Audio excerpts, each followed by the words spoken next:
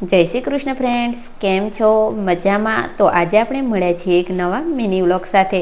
તો ફ્રેન્ડ્સ હું ગામડામાં રહું છું, તે તો તમે બધા જાણો છો, પણ તમને એવું હશે કે હું ફક્ત વીડિયો જ બનાવું છું.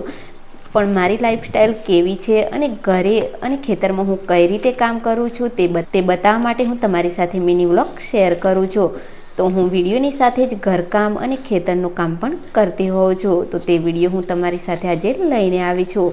તો આજે સવારે છ વાગે ઉઠી ઘરકામ પતાવી અમે આવી ગયા છીએ ખેતરમાં. તો ખેતરમાં આ રીતે પહેલાં મકાઈ કાપી ડોડા અલગ કરી અને જે ઘાસ છે તેના પૂરા મેં જાતે જ બાંધી લીધા હતા.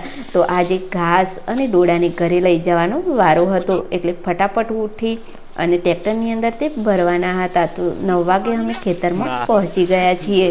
બીજા ખેતરમાં તમે જોઈ શકો છો, કાકો પણ ખેતરમાં કામ કરી રહ્યા છે. તો આટલી ઉંમરે તેમનાથી પણ કામ થાય છે. તો તે પણ મોટી વાત છે. તો ખેતર કામ કરવાથી શરીર તંદુરસ્ત રહે છે. તો સેમ રીતે જ હું દરેક સિઝનમાં પણ ખેતરકામ કરું છું અને સાથે સાથે જ વીડિયો બનાવું છું.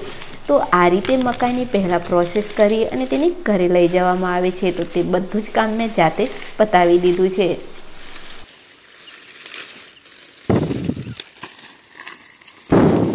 તો ફાઇનલી આપણે મારા ખેતરમાં જોઈશું તો અત્યારે મેં સમરકોટ પહેરી લીધો છે અને બાલને હું સરસ રીતે બાંધી લઉં છું. કેમ કે આપણે ડોડાને ટ્રેક્ટરની અંદર ભરવાના છે તો સાથે બે ત્રણ જણ પણ છે તો સાથે મળીને કામ કરીએ તો કામ ઝડપથી થતું હોય છે. આ રીતે આપણે મકાઈને ટ્રેક્ટરની અંદર ભરી લેવાની છે.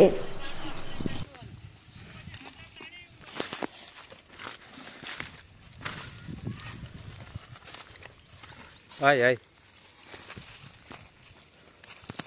તો ફ્રેન્ડ્સ કદાચ તમે ગામડામાં રહેતા હશો તો મકાઈનું કે પછી ખેતરનું કામ કરવું ઘણું મુશ્કેલ હોય છે. તો તમારામાંથી કેટલાને ખબર છે કે આ રીતે આ કામ થતું હોય છે તે મને કમેન્ટ કરીને જરૂરથી જણાવજો. તો ફ્રેન્ડ્સ આપણે ત્રણ ચાર જણ સાથે મળીને કામ કરીએ તો કામ કરવાની ખૂબ જ મજા આવતી હોય છે અને સાથે મનોરંજન પણ થતું હોય છે. તો અત્યારે નવ વાગ્યા છે અને આજના દિવસે વાદળ હતું એટલે ગરમી થોડી ઓછી લાગી રહી છે. ન કે તમે બધા જાણો છો કે ઉનાળો શરૂ થઈ ગયો છે અને આઠ વાગ્યાથી તો ગરમી ખૂબ જ લાગતી હોય છે. પણ ખેતરની અંદર કામ કરતી વખતે થાક લાગે છે અને ગરમી તો લાગે જ છે. તો વચ્ચે બ્રેક મારી મેં પાણી પણ પી લીધું છે અને આ સાઈડ તમે જોઈ શકો છો ટ્રેક્ટરની અંદર બધા ડોડા ભરાઈ ગયા છે. તો હવે વારો આવે છે ઘાસ ચડાવવાનો. તો ઘાસને ગોઠવવું ખૂબ જ જરૂરી છે. તો તે પણ એક કળા છે. અને ફ્રેન્ડ્સ ટ્રેક્ટરની અંદર ઘાસ કઈ રીતે ગોઠવવું તે મને આવડે છે. તો તેના માટે હું ચડી ગઈ છું ટ્રેક્ટરની અંદર અને આ રીતે હું પૂરાને ગોઠવવા લાગી છું. જો આપણે ડાયરેક્ટ જ ઘાસ ભરીએ તો તે રસ્તામાં પડી જતું હોય છે. એટલે તેને સરસ રીતે મૂકવું ખૂબ જ જરૂરી છે. જો ફ્રેન્ડ્સ તમને મારી મહેનત દેખાતી હોય તો આ વિડીયોને એક લાઈક કરી દો. અને હા, તમે મારા મિની બ્લોગ જોવા માંગો છો કે નહીં તે પણ મને કમેન્ટ કરીને જરૂરથી જણાવજો. તો અત્યારે તમે જોઈ શકો છો, લગભગ પૂરેપૂરું ઘાસ ભરાઈ ગયું છે અને ગરમી પણ વધી ગઈ છે. તો અગિયાર વાગી ગયા છે, તો બે કલાકની અંદર આ કામ થયું છે કેમ? અમે બધા ધીમે ધીમે કામ કરતા હતા. ગરમીના હિસાબે કામ ઝડપથી થતું નહોતું. ટ્રેક્ટર ભરાઈ જવાનો પણ ખૂબ જ આનંદ છે, કેમ કે હવે ઘરે જવાનું છે.